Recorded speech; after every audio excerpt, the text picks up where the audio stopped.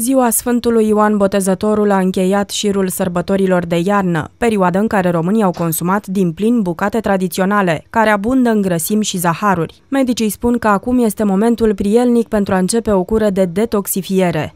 După renumitele sarmale și calta Bosch, este bine să trecem la o dietă mai bogată în uh, alimente, în uh, fructe și legume, în uh, alimente lichide. În perioada de detoxifiere nu trebuie să uităm nici de mișcare. Specialiștii recomandă exercițiile care să stimuleze metabolismul, iar acestea trebuie efectuate minim 30 de minute pe zi. Să renunțăm la sedentarism pentru că încă ne permite uh, vremea și să facem mai mult uh, mișcare în uh, aer liber. Desigur, în timpul curei de detoxifiere trebuie să consumăm apă și ceaiuri și să evităm pe cât posibil băuturile răcoritoare care conțin zahăr, dar și pe cele alcoolice.